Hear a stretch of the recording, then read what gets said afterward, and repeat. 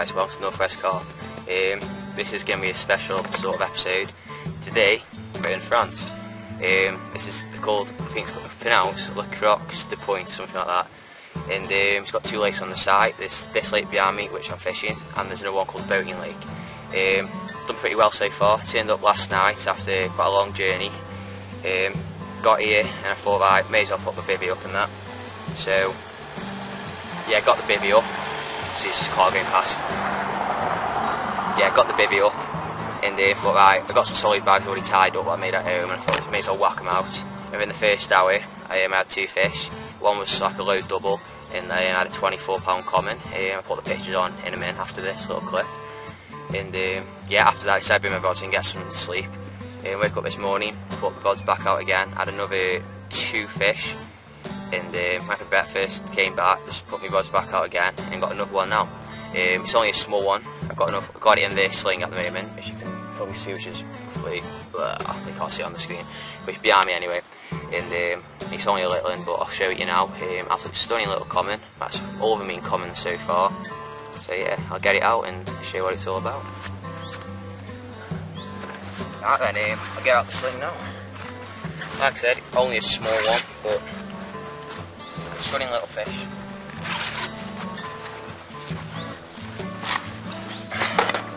I am. Been in the sling for about five minutes, so it's gonna stop flapping about, but here we go. yeah, I'll, lovely little comment. Um, well, yeah, there you go. I'll get it back because it's absolutely mental. Right then, I was gonna show you basically what tactics we've been catching the fish on. Um, at the moment, solid bags. I mean, nice and simple. I can tie plenty of them up in advance. Um, you a little section of lead cool like that. Solid bag, and if it was like a two ounce running um, inline lead on there. And that's been doing the business. Inside there, I'm actually getting the Legacy Baits, rose it, um, yeah, the rose it boilies, and just crushing up into a powder. Then I'm adding some of the CC Moore, what's this, Engage, oh, new off.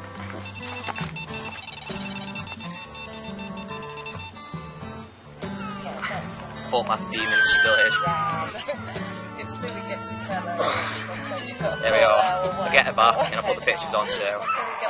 Wait. I run again. Yeah, the exact rig I just had that in 25 on was this. Inline lead, that's safe zone lever recorded. I didn't rate it that much by the way. I wouldn't advise you get these. I think you're better off a lead core. Um, this is about nine, I don't know, probably even a bit longer than that.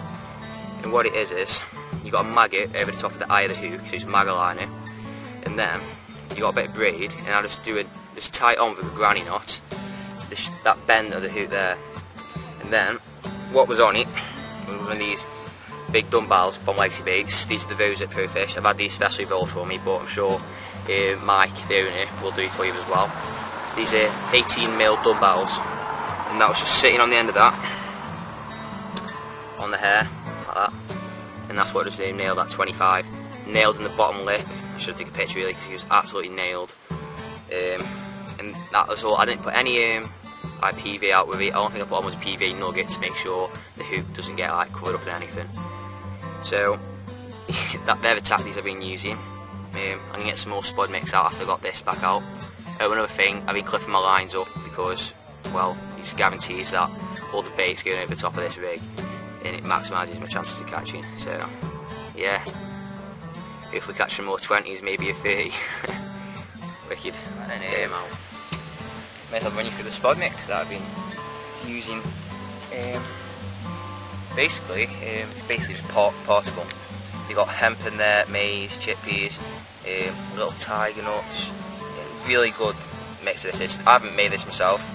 Um, this is from my actual um, local tackle shop, Pickering's Burslem and um, yeah, it was eight pound, and he came like a massive bag, frozen, and um, well, yeah, and it's better than paying like ten quid or whatever it is for those little jars. Even though they are good if you're keeping them like in the back of your car or you want to store for a long time, you have any freezer space. But yeah, it's an absolute great mix, and um, making it a bit better by adding um, that um, CC Moore ground bait stuff um, some salmon fried crumb, pretty much everything that was in um, the actual uh, solid bag mix I made. Uh, practically all that. Then I'm adding a bit of uh, oil in there, which is, I in? I think some Nash boilie dip oil. Then I put a bit of the Legacy Rosette Pro Fish um, boilie dip in there. Um, yeah, I, I, I can't recommend the bait more than what I am at the moment, sort of thing. You've seen, you've seen how it works, so it's not like one of those one baits that just seems to occasionally work. He's producing like most of the lads down there um, who are fishing haven't had anything.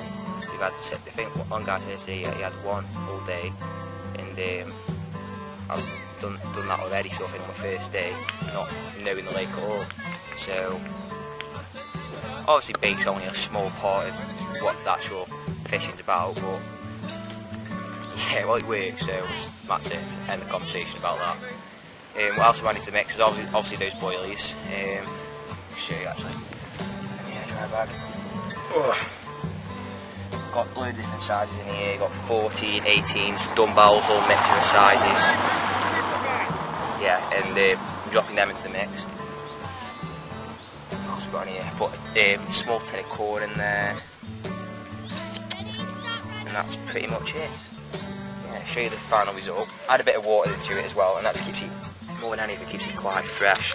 Oh, it's tipping everywhere. Um, yeah, and it's like sloppy as well, so it's nice cloud. And um, the people who know me know I like cloud in the water. I, I think it's just it's a big edge. If you can like mimic the fish feeding from start off, why not use it sort of thing? And um, yeah, I reckon that's a good advantage. Definitely. oh, look at that lovely. Yeah, and get some more spod mix out there. And I want a 30 you know.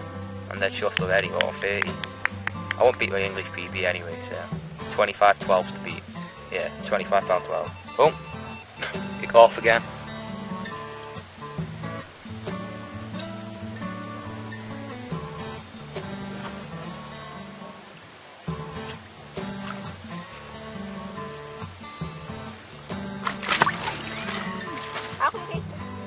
Guys, about, yeah, about an hour ago, um, decided to put some spod mix out and pull my lines out the water and go have a shower ready for the night.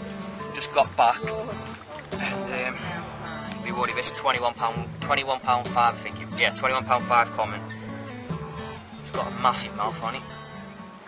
Here we are.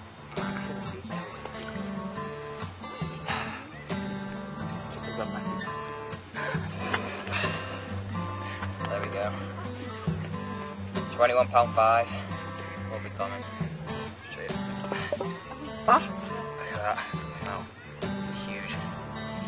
Right then, let's slide it back.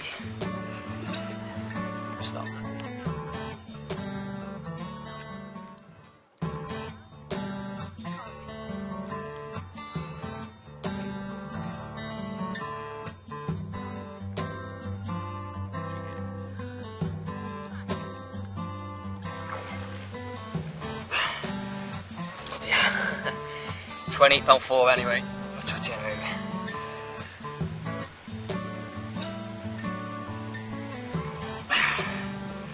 there we are. Absolute chuffed a bit. Twenty pound four first maybe. I'll take some pictures and we'll get back. Oh. Right then guys, um, as you've seen, that, that um, £20 there um, about putting back water shots from it and it seems to take a little bit of a while to get his breath back. So decided for the welfare of the fish, just put it in the retainer sling, put it in there for about 5-10 minutes to get his breath back whilst you sort your rods out and that. So they're definitely worth and they do the job. Um, yeah, and the help blacks had some water shots in it, just leave it in the sling to carry it out in that.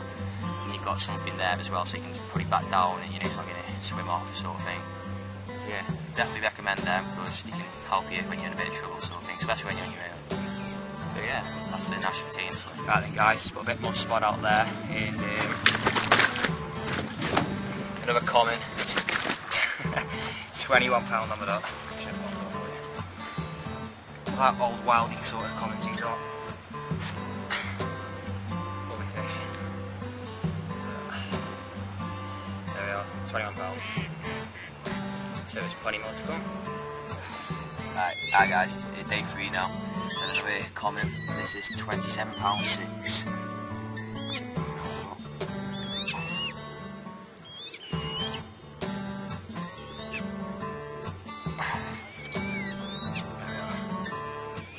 Six.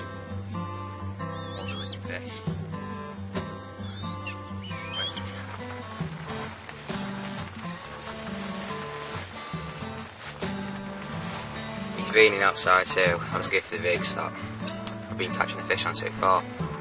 Basically it's only about 8 inches of uh, coated braid, a little bit stripped back near the hook. It's got one of the Korda Sinkers on there, so it's the medium sized one. And that just helps to pin it all down, make sure that the fish can't get spooked off by it and they can't see it.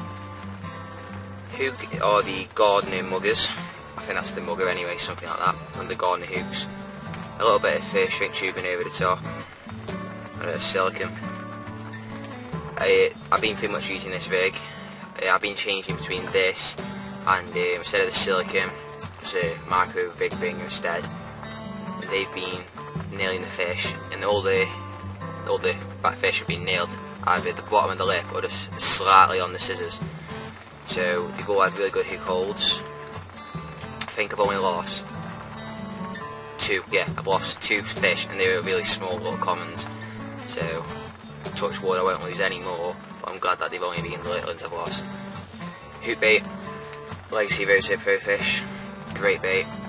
S smell like really sweet yeah, really sweet sort of smell. It's, it's really hard to describe. but yeah, they've been really well, they're working really well, obviously.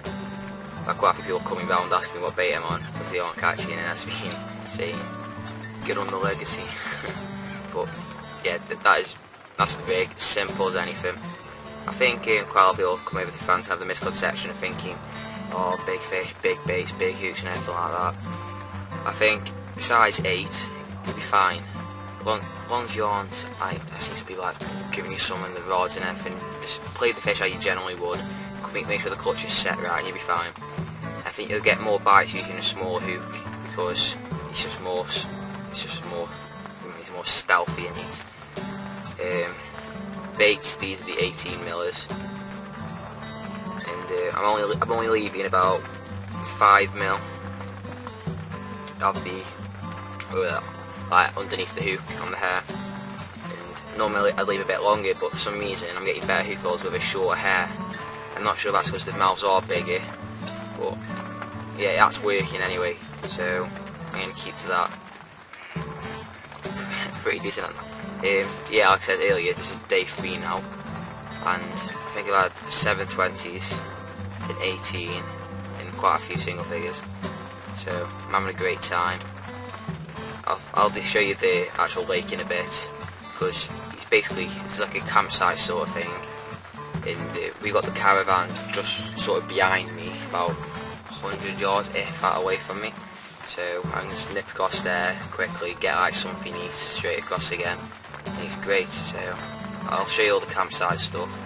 But especially if you have a family like, like for me mum and dad and my two sisters come over and then one of my cousin and his family.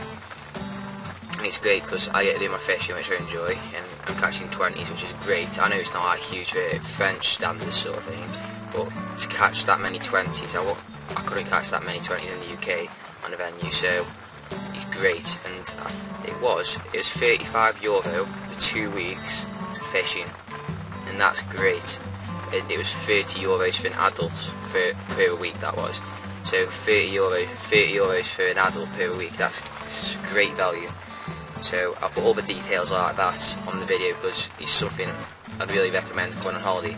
The place has got brilliant facilities, so yeah, it's not just fishing. It's great. Speak to you in a bit anyway. Right then guys, just had another one. It's about an hour after put some more swag mix out there. £15. £15 eight. It's an half fight. Right, let's go for it. There we go. £15.8. Another common. Be glad when I catch another mirror. Get like a fish. Take some pictures now.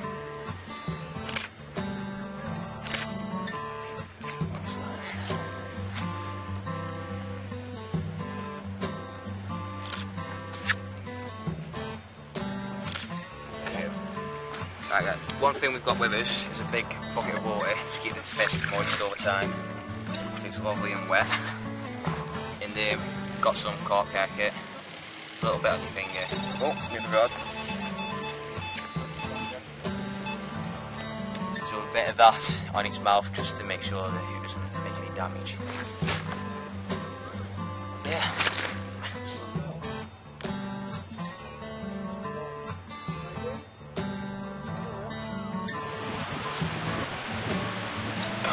There you guys, £24 for the one that's fallen to the Legacy Rosy Pro Fish Boilies.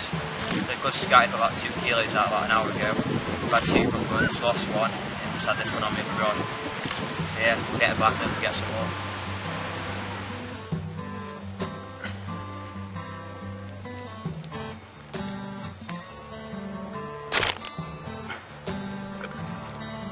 It's a nice way to wake up in the morning.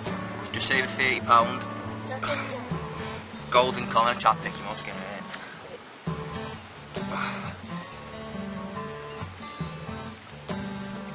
Oh, gorgeous fish, just over £30. Yeah, get some pictures, then we'll slide it back. This is just under £20 at £19.14. Another common.